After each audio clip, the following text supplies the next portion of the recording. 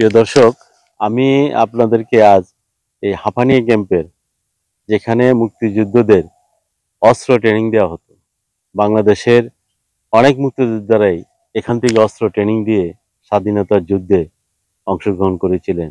সেটি ভারতের আগরতলার এই হাঁপানি ক্যাম্প। এই জায়গাটি সরকারি সম্পত্তি। এখানে এখনও আপনারা দেখছেন চারিদিকে জঙ্গল আর জঙ্গল। এখনও এই জায়গাটা খালি আছেন আর একটি অংশ একটি সরকারি হাসপাতাল নির্মাণ করেছে, আর বাকি প্রায় তিন কিলোমিটার এলাকা হবে এই হাফানিয়া ক্যাম্প এলাকাটি। এখনও এই জায়গাটি এই পরিত্যক্ত অবস্থায় রয়েছে। এখানে এসে আমার কাছে আসলে খুবই একটি মানে আবেগ আপ্লুত হয়ে পড়ি যে এই মাটিতে শুয়েছিলেন, এই মাটিতে গড়িয়েছিলেন আমার এলাকা, আমার দেশের মুক্তিযোদ্ধারা। এবং এখানে থেকেই তারা কষ্ট করে যুদ্ধ অংশগ্রহণ করেছিলেন এবং এই মাটি থেকেই তাদের এক সময় এই মাটিতে গড়িয়েছেন এবং এই মাটি থেকে তারা এই ট্রেনিং করে অস্ত্র হাতে নিয়ে বাংলাদেশের স্বাধীনতা যুদ্ধে তারা অংশগ্রহণ করে। আমি এখন সেই জায়গাটি দাঁড়িয়েছি। আপনাদেরকে সেই জায়গাটি দেখানোর জন্য এখানে এসেছি। মূল এই জায়গাটি হচ্ছে বটতলা। এখানে আপনারা দেখছেন একটি বট গাছ আছে এবং একসময় এখানে আরও বিশাল আকার একটি বট গাছ ছিল। সেটাকে নামকরণের কেন্দ্র করেই এই জায়গাটির নাম করা হয়েছে বটতলা।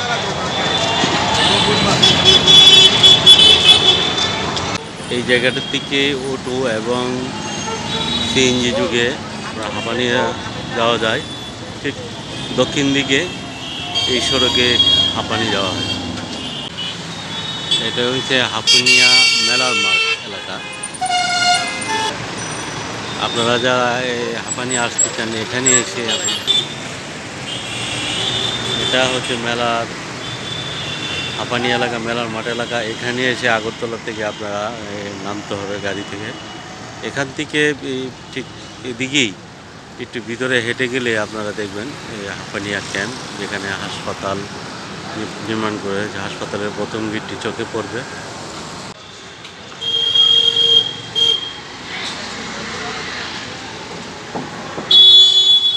এটা কি বেসরকারি না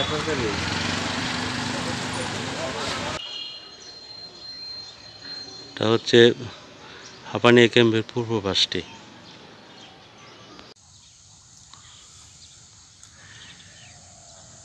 এই জায়গাটি আসলে বিশাল বড় এলাকা। আমি এই জায়গাটি এসে এই চারিদিক এখনও ঘুরতে পারি নাই, তবে আংশিকটা ঘোরার পরে যতটুকু আমি অনুভব করতে পারছি, প্রায় আড়াই তিন কিলোমিটার নিয়ে এই জায়গাটি এবং সম্পূর্ণ জায়গাটি সরকারের। সরকারের যেহেতু এই জায়গাটি, আমার মনে হচ্ছে যে এই জন্যই এখানে এই মুক্তিযোদ্ধাদের নির্ধারণ করে দেওয়া হয়েছিল এখানে ক্যাম্প করার জন্য। এবং এই জায়গাটি তখনই এখানে খুব নিরাপদ এবং খুব ভালো জায়গা ছিল। এখানে যোগাযোগ ব্যবস্থাও তেমন ভালো ছিল এবং পাশেই ভর্ডার এখান থেকে আপনারা যতটুকু আমি, আমার জানা মতে, এখান থেকে স্থানীয় লোকদের সঙ্গে কথা বলে যতটুকু আমি জানতে পারছি যে এখান থেকে প্রায় এক কিলোমিটার চেয়ে আর একটু কম অংশে এখানে হয়েছে আপনার বাংলাদেশ বর্ডার পাশেই আপনার বাংলাদেশের আখাউড়া উপজেলার বিভিন্ন অংশ। যে কারণে হয়তো এই ভারত সরকার এই সার্বিক সহযোগিতায় বাংলাদেশকে এই জায়গাটি ব্যবহারের জন্য সুযোগ করে দেয়। আমরা আসলো আসলো তারপরে এমনি গুদাম আসলো একটা গুদামের মতো আসলো। এখানে তারা ব্যাংকার আসলো। এতটুকুই জানি এই অংশটিকে যতটুক ভিতরে প্রবেশ করতেছি আমরা, ততটুকু খালি জঙ্গল আর জঙ্গল। তেমন কোনো ইয়ে নাই যে এখানে কোনো বসত বা কোনো মানুষের আনাগোনা নাই। খুব নীরব জায়গা। বেলা এখন প্রায় এগারোটা। তারপরে আপনারা দেখছেন এখানে কোনো মানুষের কোনো আনাগোনা নাই। আমাদের কাছেও এই জায়গাটি খুব নির্জন মনে হচ্ছে। আর আমরা তো এখানে নতুন। এই এলাকা আমাদের কোনো সময় আসা হয়নি। আমাদের কাছে খুব একটা মানে নিরাপদ মনে হচ্ছে না।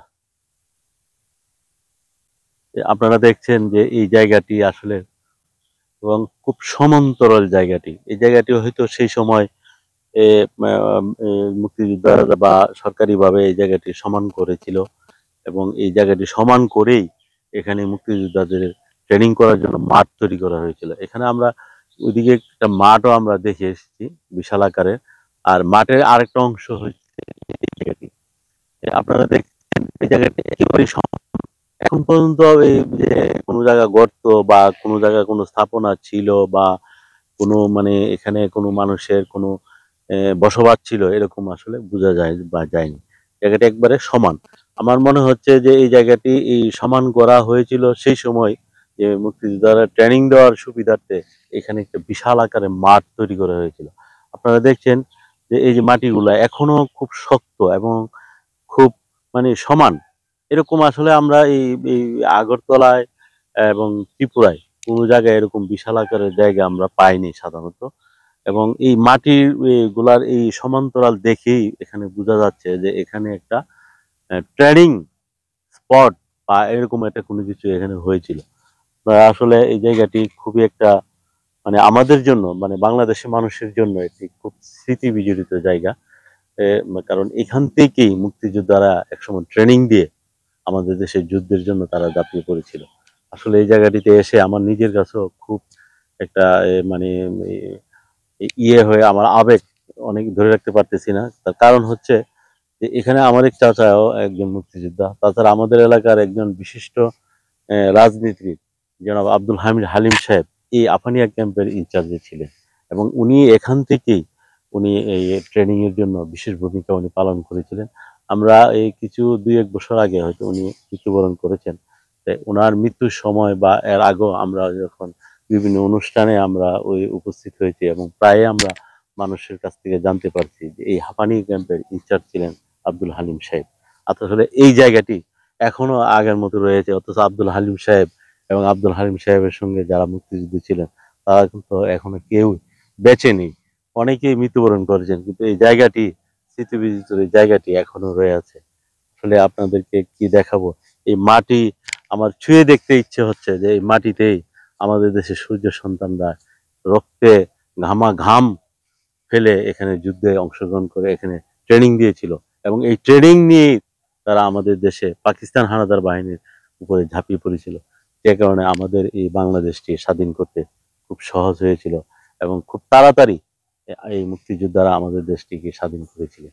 আমরা তাদেরকে সশস্ত্র সালাম জানাই, যারা এই দেশ থেকে, এখান থেকে হাফানিয়া থেকে ট্রেনিং নিয়ে আমার দেশে যুদ্ধ করে অনেকে আজগা শহীদ হয়েছেন এবং যারা বেঁচে আছেন, আবার অনেকে মৃত্যুবরণ করেছেন, সকলকে আমার সালাম জানায় সশস্ত্র সালাম।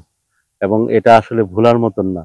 তাদের এই আত্মত্যাগ এবং তাদের এই রক্তে গামা পরিশ্রমে এবং তাদের এই কষ্টের দিনগুলো যদি আজকে আমরা মনে করি, তাহলে আসলে অনেক কিছু আবার তাদের অবদানের কারণে আমরা একটা স্বাধীন দেশে বসবাস করছি, যেটি হলো বাংলাদেশ। আজ এখান থেকেই আমি সকলের কাছ থেকে বিদায় নিলাম। আমি মোহাম্মদ মানসুদ প্রভাতী সময়ের পক্ষ থেকে আপনাদেরকে স্বাগত। আরেকদিন হয়তো আরেক জায়গায় গিয়ে আপনাদেরকে আরেকটি সুন্দর স্থান দেখানোর চেষ্টা করব। সকলকে ধন্যবাদ।